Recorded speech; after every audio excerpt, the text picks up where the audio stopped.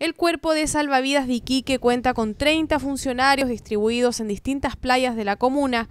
A partir de las 10 de la mañana se encargan del resguardo, seguridad y prevención de los bañistas. Italo Contreras, encargado del cuerpo de salvavidas del municipio local, mencionó las constantes capacitaciones en rescate que tienen como institución, anunciando el taller en salvamento que dictará este martes el brasileño radicado en Hawái, surfista de grandes olas Ricardo Taveira. Tenemos programado un taller eh, en la piscina Godoy, eh, debido a que principalmente estas técnicas primero se aplican en piscina y luego se pasa a la playa para, trabajar un poco con la realidad. Este es instructor eh, de buceo, PADI, pero con los años se transformó en un Big Rider. ¿Qué significa eso? Que corre solamente olas grandes y además adquirió la experiencia que tienen allá los hawaianos, norteamericanos, ha viajado por varios países, bueno, esa experiencia hoy en día la está trayendo a Iquique para enseñarnos a nosotros en el fondo lo que, lo que se está manejando hoy en día a nivel internacional.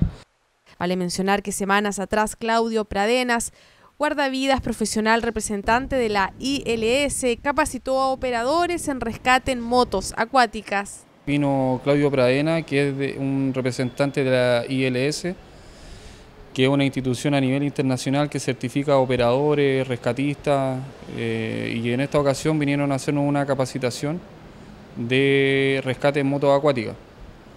Eh, siguiendo con el programa de capacitaciones, hoy en día se encuentra acá en Iquique Ricardo Taveira, en conjunto con el grupo de Waterman Chile, eh, para la capacitación de ola grande y apnea.